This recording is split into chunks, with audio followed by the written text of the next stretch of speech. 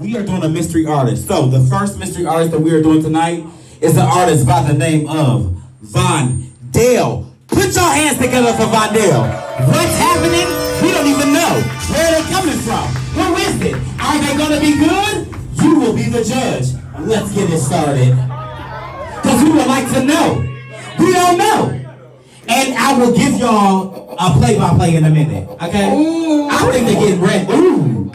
Oh, is that my? Oh my God! Oh my God!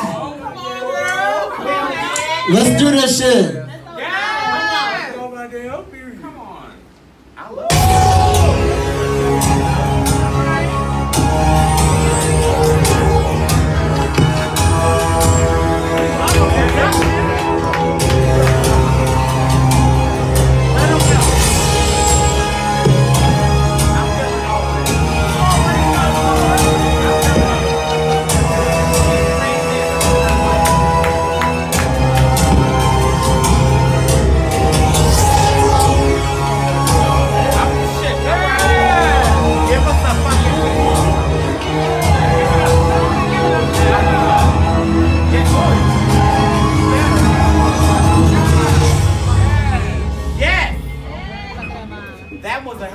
Fucking intro.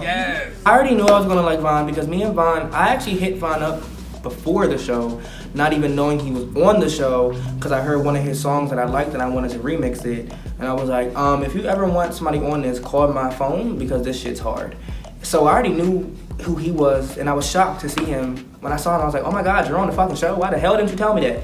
It was more so like I need to see more. Like somebody need to develop you, or like you want to ask a person somebody somebody like that. Like, oh, is it? Did you just start type of thing? Because you see the potential, but you just, it's just not flowing through. Mm-hmm. So his performance was okay. It's not something that we boo. Let's let's put it that way. VonDell was given that I'm the shit with no makeup because it was very much with no makeup type shit. Because no, let me not be shady, girl. Let me not be shady. I like Vaughn.